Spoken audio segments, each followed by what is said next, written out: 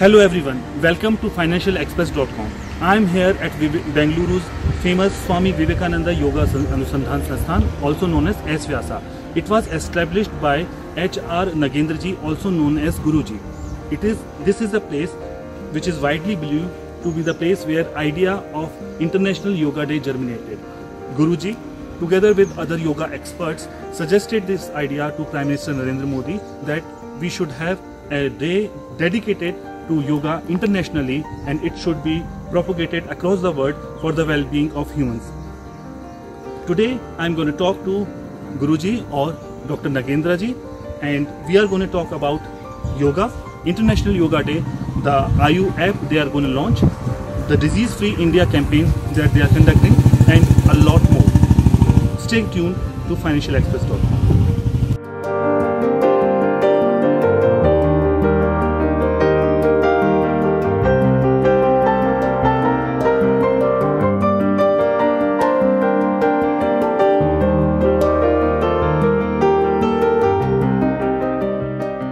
Hello everyone. Today we have with us renowned yoga practitioner and founder of S Vyasa University in the in Bengaluru, uh, Dr. Nagendra ji. Nagendra ji, welcome to financialexpress.com. Uh, let's start with uh, asking you about yoga itself because you have been practicing it for eons now and you have built this beautiful university which is propagating yoga and it is like a boiling point where boiling pot where you know best of east the yoga and spirituality is being you know uh, mixed with the best of west that is research and science. So my question to you, you is what is this idea of mixing the two the best of two practices Thank you very much, and I'm glad that the Financial Express is uh, coming forward to put forth these dimensions of yoga, which has become very relevant today. As you know, Dr.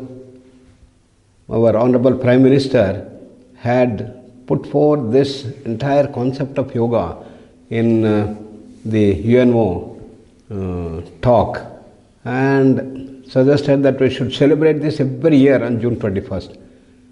So it was accepted with a thumping majority by largest number of uh, countries and June 21st is being celebrated. So as you rightly ask, what is that which you call as yoga? There have been a lot of distortions. People think that is some sort of physical exercise, some sort of a magic, some sort of a rope trick and so on, you know.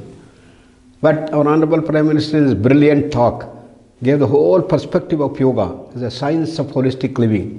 He said it's not mere physical asanas or physical practices, nor it's just a meditation or not just pranayama. It consists of everything. And it is the way of life.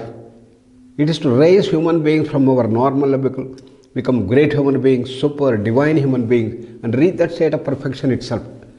I'm actually taking you back in time. Uh, it is you know said that you know the idea of celebrating uh, World Yoga Day germinated here, though it was propagated and was you know fruitified by the Honorable Prime Minister. But you know the idea actually germinated here in S-VYASA, and it is actually your idea. So can you you know shed more light on it?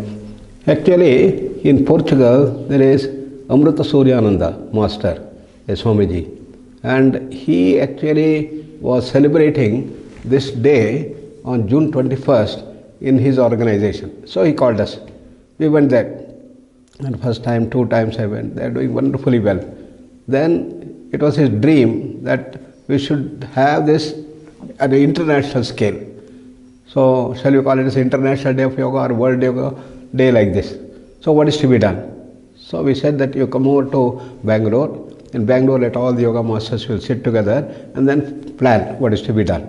So, we had the meeting with Sri Sri Ravishankar Sarsham. He had come, and then uh, our uh, Honorable uh, uh, great masters have come, and we all sat together and we discussed.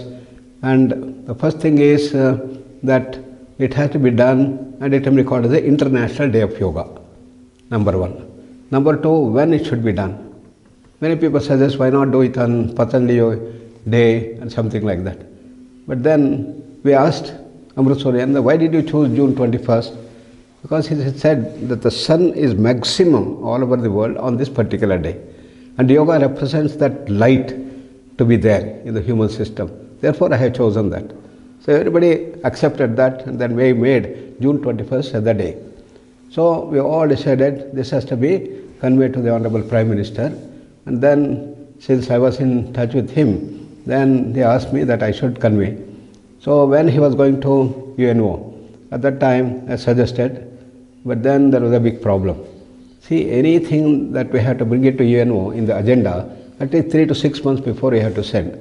Now, hardly it was one month before he was going. So, what is to be done? Let us wait for the next year. I said, No, what you do is when you are going to give the speech, give in the speech everything. And let us call for this thing. Whatever happens, let us see. So, this is what he did. And he gave the brilliant speech and suggested if you all agree, we should take this June 21st as the International Day of Yoga. And what a response we got, you know. 45 Islamic countries came forward, yes, we want, we want. And it was approved by the UNO. And it did not go through the conventional agenda. And this is the most unique thing that happened about the International Day of Yoga. That is great. Uh, you know, uh, for last two and two and a half year, we are living under pandemic. And during pandemic, lot of people, you know, took to yoga and meditation also. But because of you know uh, improper practices of yoga you know not professionally trained people were making videos on youtube and you know disseminating information so it was important that you know true practitioners of yoga give the correct information about yoga to the masses uh, so now you are coming up you with reset tech are coming up with this uh, app for yoga called Aayu mm. tell us more about it mm. This is very very necessary because yoga and its practices have been getting distorted in various forums all over the world. And the first thing that happened is our Honorable Prime Minister gave the right perspective. Then we all sat together to develop the International Yoga Protocol. And that contained all the four streams in a very subtle and intelligent way. We have brought them together. And that is to be practiced. So all over the world, this started happening. And in India also, crores of people started doing that. But now it has to be sent to each and every part of the country and all over the world. Therefore, we have reset as one of the premier bodies and they came forward. Let's join hands together, let us make an MOU and bring out beautiful apps for you and see that people get the right perspective to get the benefits of yoga to everybody. It should reach every nook and corner, every village, every person should have these things because we are in, in the world thanks to COVID. The online had become so popular, yeah. you know Otherwise, we are confining ourselves only to the residential programs and others, or yoga studios and other. No, everybody can have the whole world in front of them. That is the whole process that's happening. Therefore, it's most important that we should have these apps. And last almost one and a half years, our research has been doing wonderful work to create these apps on various dimensions. Our particular emphasis is the benefits of yoga for modern ailments whether it's infectious diseases or contagious diseases or non-communicable diseases. Particularly now after the COVID menace has almost subsided, now we have to emphasize on non-communicable diseases, yes. asthma, diabetes, hypertension, heart problem, epilepsy, migraine. And we had done a lot of work in the field of diabetes. I remember our Prime Minister in Chandigarh had given a call. He said that see in India diabetes is increasing very fast and in the world, China is number one, and we are number two. We are racing to go beyond China to become number one. This had to be prevented. And he called all the people who had assembled there in Chandigarh. See, this cannot be done only by our government. It has to be associated with the yoga masters. Therefore, let us join together and do that. Then he gave the mandate to Ministry of Ayush and Health Ministry, everybody, and we started working together and our Indian Yoga Association joined hands and we did a wonderful program led by S. And uh, we tracked 2.5 lakh people in all the districts and states in the country and a very rigorous research design we did and out of that came wonderful results. We completed the whole thing in just three months. If we had to track this one, government would take at least about five to ten years because we had such large number of volunteers and we were able to do this thing wonderfully well and wrote research and became the biggest you know research project of the country American Diabetic Association gave a big award for diabetes. Then I said we are going to take it to cancer.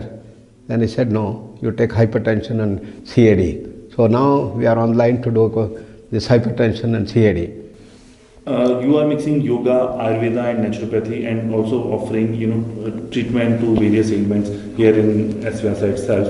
Uh, what is your vision for the world, mixing these three you know uh, uh three ways of uh, treatment and you know well-being? See, allopathic system has done wonders in the last century in dealing with infectious and contagious diseases, and uh, as I said it is essentially at the physical level these things happen. From external, the germs and viruses will come and hit. So we have to blast it up doing that thing. This is one category of diseases which can disease. But the NCDs, non-communicable diseases, they are all born inside, you know, due to the stress, imbalances that happen. Therefore, we have to deal with these imbalances very nicely. And normally it starts in the manomaya kosha, we call in the mind level, comes down to the physical body and causes imbalances starting from the brain and then puts down into the autonomic imbalance, endocrine imbalance and settles down in different ailments and you get into the problem. So unless you remove the adhi, you have no solution. Allopathy deals only with the body, so it can give symptomatic relief, essential for dealing with that. But the mind level we are not handling. Therefore, the whole trend in the world is that we have to combine allopathy with other complementary and alternate systems of medicine available around the world. Our university, our organization stands for evidence based. According to our Swami Vivekananda's dictum, we combine the best of the East with the best of the West. These are the two things that we are combining, and therefore, all that we are producing in the app is all scientific, evidence based thing that we are doing. That is what is needed. Yes. What we want in the world is that a healthcare delivery system which is very effective, with almost no side effects and very effective and evidence based. And fourth, it should be cost effective. Yoga is the most cost effective thing.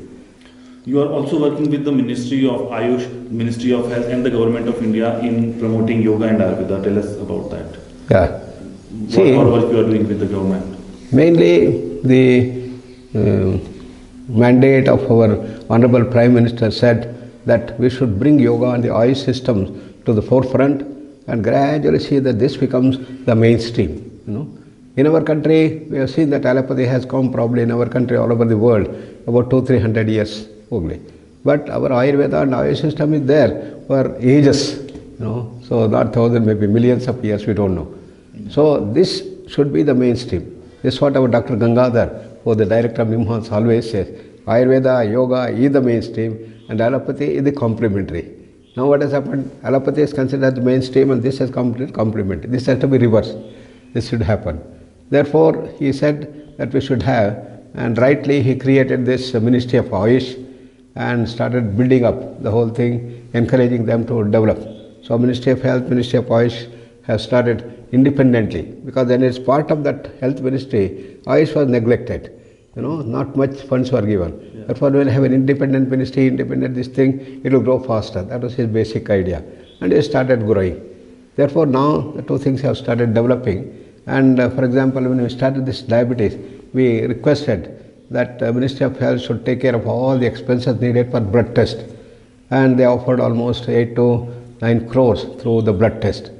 Then voluntaries who are there and other expenses has to be done by Ministry of Ayush. Ministry of Ayush gave another uh, 6 7 crores. And therefore totally about 13 14 crores we did the entire thing throughout the country a pan india project. So this is the type of association that we have. And we have to give the lead and see that achieve things faster. The wonderful survey that we did is the best in the world and the fastest in the world. And that's what we have to do. So we have to take it fast to the world at large. Yeah, true. Uh, this world yoga day is being celebrated in mysore Prime Minister is coming down to Mysore, and what are your plans for the World Yoga Day? What record you are going to create this time? Just last year, it was all online, and uh, we had the target of 20 crores of people throughout the country to practice this yoga protocol. This year, Ayush Ministry has set up 25 crores at this. It will be hybrid mode. So we'll have not only offline in various places, but also we have online in a big way. And therefore, 25 crores has to be achieved And the Ministry of Ayush now is powered by not only Ministry of State but also a cabinet minister. So he is very, very dynamic and he says it should spread fast everywhere. And he had a initial interministerial meeting and we all joined together and then discussed as to how every minister should take. They should have the target and spend the money and see that it grows to each and every nook and corner. And then, apart from that uh, planning that we did in the interministerial meeting to spread all over the country, there was a big uh, public program in Red Fort. Probably you know that. Yeah. And there it came up very nicely. Thousands of people came. And now there was a thing where we had to do this this year. And uh, Leh Ladakh or Mysore, you know. Because Leh Ladakh, last two years our Sanghasena has been pushing and it was done, but it was all online mode. Offline could not be done there. So this year there is a thing that we should do that there or here. But then because Leh is a smaller place, we wanted to have a bigger thing. And Mysore is the hub of yoga. You know, starting from Krishnaraj Vadiyar, at that time Mysore in Karnataka is the hub. Therefore we selected Mysore. Uh, we have heard that Prime Minister is very fond of you. He even recommended, you know, uh, your uh, S. Vyasa to, you know, Delhi Chief Minister Arvind Kejriwal. Uh, tell us about your relationship with the Prime Minister. Mm, he is very fond of that. What uh, he is doing is he goes around and then people get attracted with the tremendous capacity that he has shown. Among the elections, how he is working almost 20 hours a day and how he is doing that full of energy. And when he went, he was able to attract even the President of the United States or the west of the UK or Germany, everywhere. People became so fond because our vision is so broad that we should have one single formula. And the main emphasis is that you have to fight the terrorism. Terrorism should be removed. For which that the common agenda was accepted by everybody. You know. Therefore everybody is very fond of his beautiful talks and also very friendly nature with everybody and his continued discipline of the yoga as a way of life. You know, when he went to United States, a beautiful banquet was arranged for him and then he was on the upasa ground. Then he was fasting. He did not touch. He took only juice. They said, at least one day should, no, this is the discipline, I have to do it. That is the power of will he has. And therefore people are marveled at his wonderful personality. And uh, therefore the people have started coming in a very nice way in the world over and then see they're all coming together to do that. Then he said to me, see, when I meet these people, they all want to learn yoga from me. I said, no, I am not a yoga teacher. I am only yoga practitioner. If you want to learn yoga, go to S-VYASA. You know, many dignitaries who come to Delhi, he says, please go there and uh, get these things. You know, many of the people he has been sending here. And as you rightly said, Kejriwalji, when he found in one of the meetings that he had a lot of asthma and other things, why don't you go there because asthma has been the premier thing in our S-VYASA. We had done a lot of research, published paper in BMJ, lakhs of people have got the benefit. You go there and you will get normalized. And he immediately called us, how long I have to be here and what is to be done, everything he did. And we are hoping that he will come here. But he did not come, he went to Jindal here. Okay. Mm-hmm. because somebody asked me why. Probably if he comes here, he thinks he will become BJP. That's the politics. Let's Yeah, for correct. another day. And also, thank you very much, the Financial Express, Yeah. coming forward to see that you spread this message. It's very necessary Yes. because we have seen how devastating the finance have gone because of the COVID. So we have to resurrect ourselves. Probably it has started happening, but through yoga, our team believes that through yoga it can develop nicely. Yeah. And we should all work together in the world at large. And Financial Express plays a very important role in dealing with these dimensions of financial growth, which is most important for all developments in the country and throughout the world. Thanks for talking to financialexpress.com. Thank you, sir. very much. Thank you. Thank you very much. Namaskar.